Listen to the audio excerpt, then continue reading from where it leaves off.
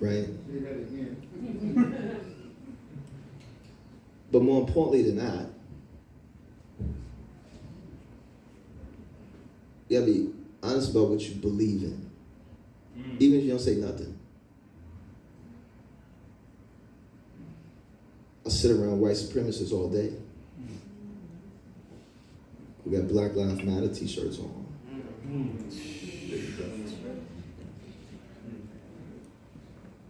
Because they watch what they say.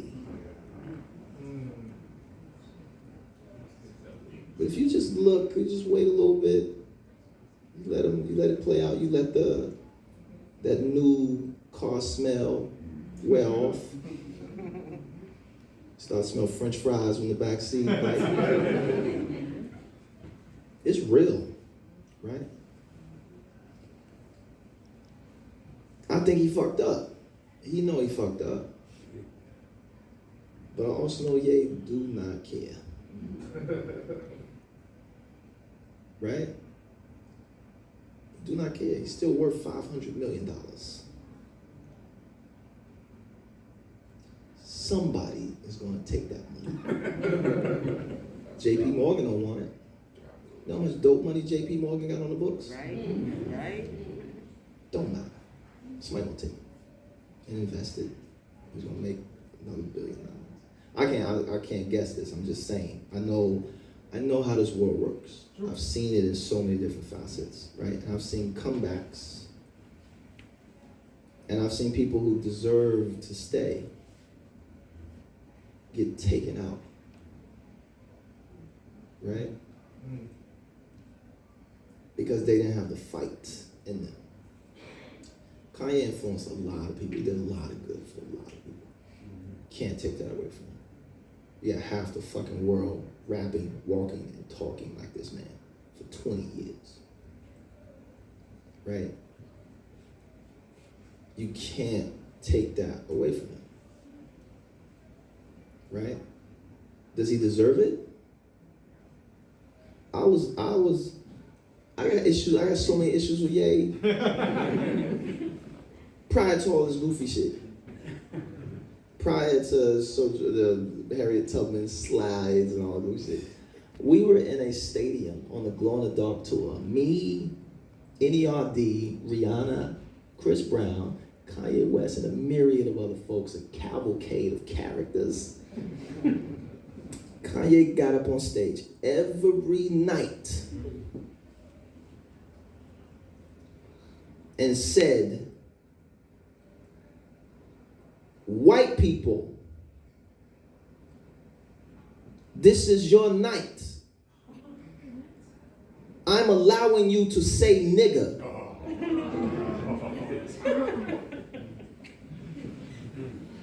So when the chorus come around, you can say it. Mm. every night. Madison Square Garden, every night, every stadium around this fucking country, every night, my man went up there and told him that I was hot. hot. At the same time, too, NAACP was like, we need to bury the word nigga. Yeah, yeah, I remember that. And I was like, that's the stupidest shit I ever heard.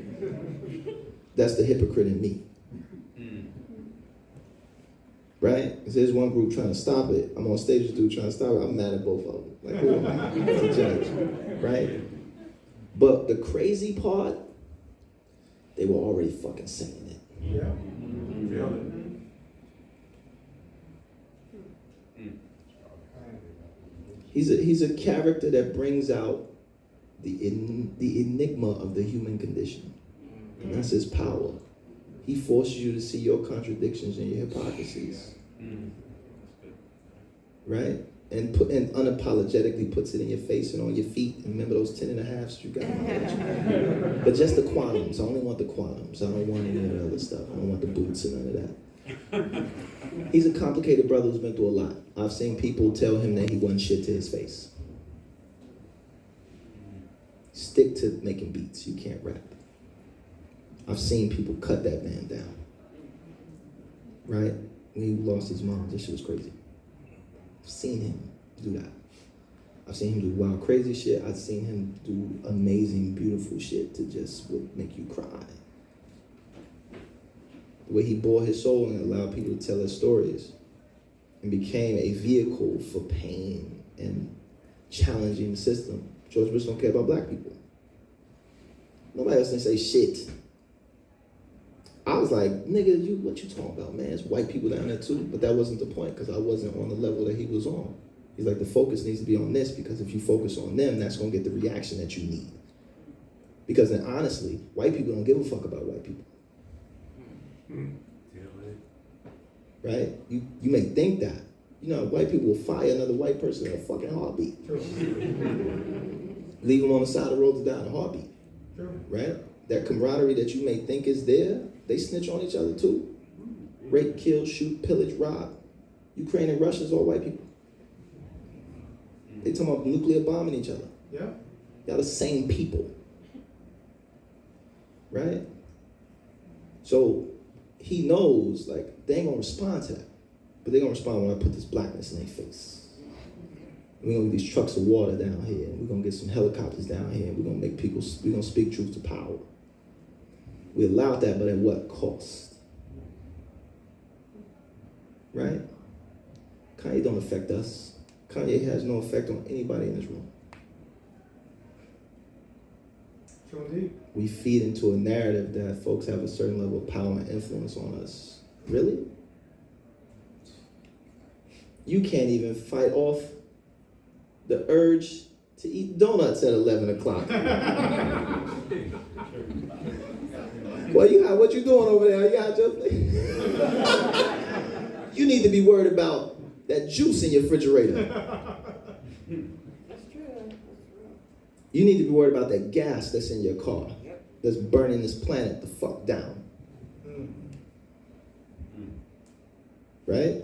There's bigger fish to fry. And if we don't get to cooking them shits, they are going to start cooking us.